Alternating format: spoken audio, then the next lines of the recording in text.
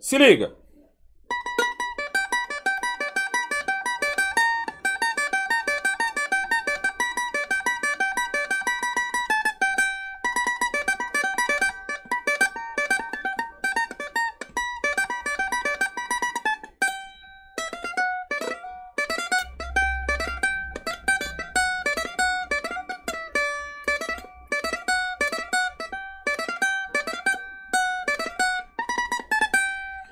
Difícil não é tocar brasileirinho, difícil é tocar brasileirinho com uma palheta de guitarra, mano. Ó. Ó o quanto essa palheta é dura, porque perdeu a minha palheta de cavaco. Eu só tinha. um- Lá em casa eu tenho umas cinco palhetas de cavaco. Aqui eu só tinha uma, perdi e tô tocando com a de guitarra que é extremamente dura. E aí, beleza? Pra você que não me conhece, meu nome é Alessandro, mais conhecido como Negão. Pra você que já me conhece, deixa eu sair da frente, ó. www.eze.com.br é a marca que ajuda o canal do Negão aqui há mil anos, tá ligado? O canal do Negão não, o canal do Negão é outro canal meu. Ajuda aqui o Negão há mil anos, então peço pra você que, por favor, vá lá comprar roupa, tira esse escorpião do bolso, compra roupa lá na Eze lá. Ajuda os meus parça, usa o cupom NEGAL10, NEGAL10, é o não, é negão, é negal, negal10, negal só se tirar o tio, negal10, certo? Você vai ter 10% de desconto e é nas compras feitas aqui na região sul e sudeste, frete grátis. Demorou? Seguinte, pessoal tá pedindo pra eu fazer um corte aqui do MC, esqueci o nome dele, mano, que ele tá falando sobre a treta da Drica, da MC Drica com o Rick Bonadio. Muita gente pediu e o Kaique praticamente implorou. Mas antes eu quero mostrar uma parada pra vocês aqui, pra você que não tá ligado. Eu tenho também um canal de cortes, que é o Black Cortes, tá aqui, ó. Black Cortes Oficial. Eu peço pra você que, por favor, se inscreva, ó. Se liga, ó. Aperta esse botão aqui, vem aqui no sininho, ativa pra todas as notificações e olha aí, ó, uma porrada de corte aqui. Dá essa moral pro Negão, porque também é o canal de corte do Negão. Fechou? Então vamos que vamos aqui, sem mais delongas. E vamos aqui para o corte aqui do MC, que eu esqueci o nome dele, mas vou ver agora o nome dele. Calma aí, calma aí, calma aí. Vamos lá. Diz o Kaique que eu nem vou precisar falar muito, porque o corte já fala por si só. Vamos ver.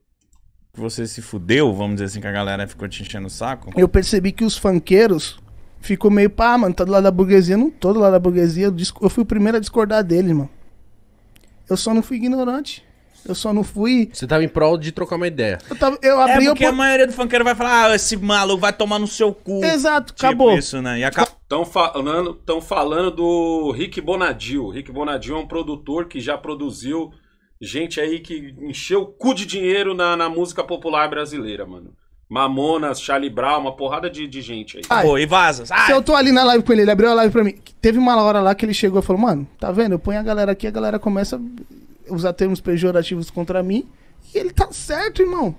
Tá certo, mas também. Não tá certo na opinião dele. Ele colocou outro assunto na frente que a galera começou, antes de querer entender, a galera começou a massacrar. Nem, você não pode chegar. Igão, deixa eu falar com você aqui, seu filho de uma puta. Eu já errei, viado. Tá, eu Se eu sei. quero te convencer em alguma coisa, eu vou, falar- eu vou procurar te ouvir, entender. Não, Explica. eu tô ligado nisso aí que você tá Exato, falando. o nome disso é Isso aí diálogo. é errado. É errado você, tipo, eu chegar ofendendo o mítico, mas é errado num padrão de igualdade. Se eu sou igual ao mítico, sou visto igual ao mítico.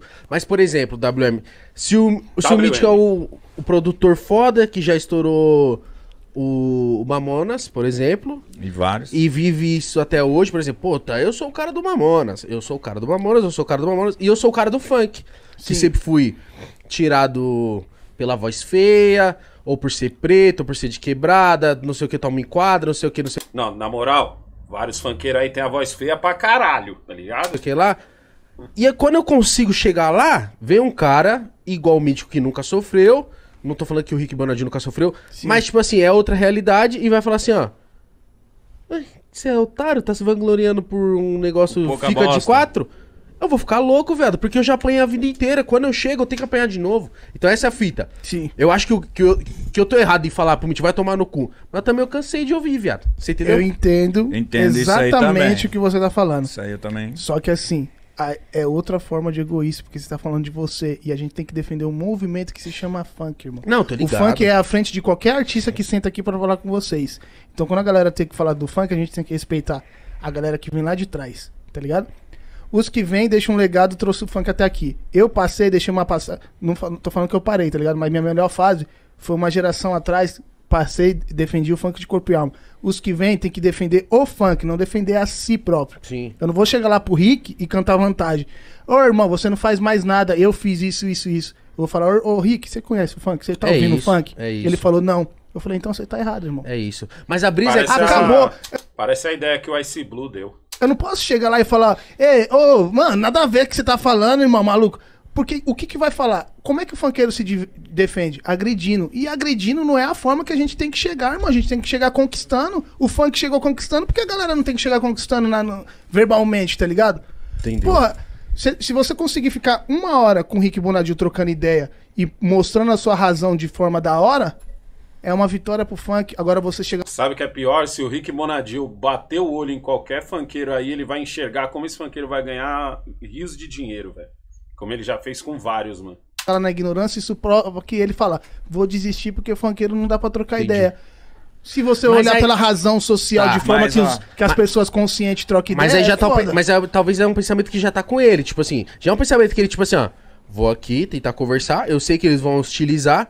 Porque, mano, Você ele usou isso como estratégia, é, inteligência Mas, do tipo cara assim, ó, e burrice nossa por que você bate? forma. Exato. Você só bate porque, se, porque você aprendeu. Porque te bateram, mano. Sim. Tipo assim, se você parir uma criança hoje, ela não vai bater. Porque nunca bateram nela, nunca viu o que é bater. Ela não sabe o que é bater. Sim, ela não Mas se, sabe. se ela apanha, ela aprende a bater. Ela aprende a então bater. essa é a fita. Às vezes, é porque a gente é hos- hostil. Na quebrada, principalmente. pra caralho, porque a né? gente grita pra se comunicar. Porque a gente fala, vai tomar no cu, presta atenção.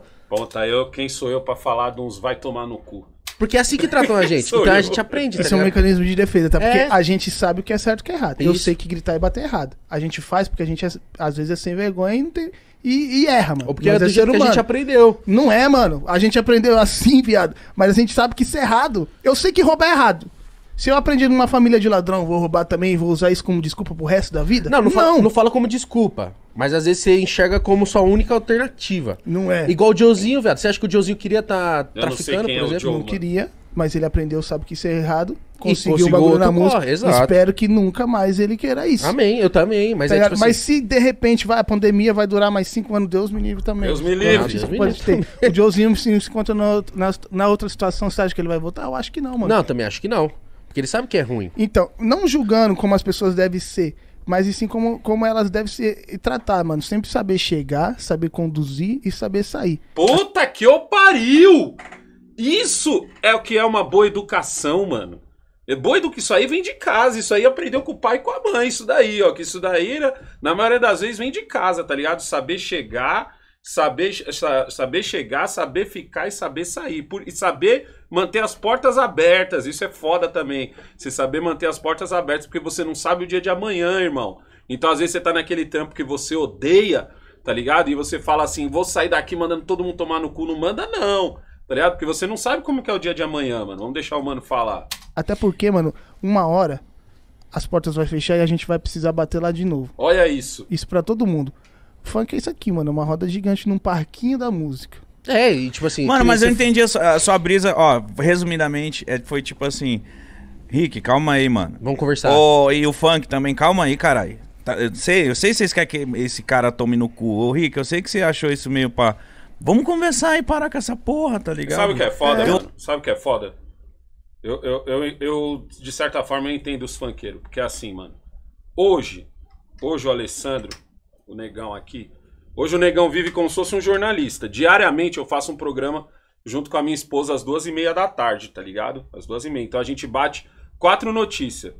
Em média, a minha live no meu outro canal, mano, não nesse canal aqui, no canal do Negão, em média a minha live ela bate ali 2.500, 3.000 pessoas. Às vezes eu tenho um entrevistado, eu bato 5 mil, tá ligado? Já o meu, o meu limite foi o meu máximo, meu limite não, graças a Deus. O meu máximo até hoje foi 10, tá ligado? Eu cheguei a bater 10 mil pessoas. E tipo assim, o, qual que é meu trabalho, mano? Meu trabalho é pegar uma coisa complicada, que são as notícias, e traduzir pras pessoas. Porque eu até brinco na minha live que eu falo assim, ah, muitas vezes você finge que entendeu uma notícia quando você assiste um jornal nacional, mas na real tu não entendeu, porque a linguagem dos caras não foi feita pra você. A linguagem dos caras é pro cara que mora na, na Zona Sul, tá ligado? É o cara que mora em Alphaville, ela não é feita pro cara que mora na Tiradentes. Então o que, que eu faço? Eu tento sempre usar exemplos em que coloca a pessoa naquele lugar. Eu já entrevistei uns jornalista fudido em que, tipo assim, muitas, muitas pessoas que me trombam, os caras que são fãs desse meu outro lado, tá ligado? São fãs desse canal, falam assim, caralho, negão, eu me informo por você, acho você a Cleide, mano, dois jornalistas do caralho. A Cleide eu já acho que é, agora eu não me acho. E os caras, eu já ouvi de jornalista, tá ligado? Fudido que falou, falou, não, negão, tu é jornalista mesmo, tá ligado? E também já ouvi de jornalista fudido que fala assim, negão, eu acho seu trampo do caralho, porque você traduz, mas ao mesmo tempo, a galera que já é de mídia, a galera odeia você, mano.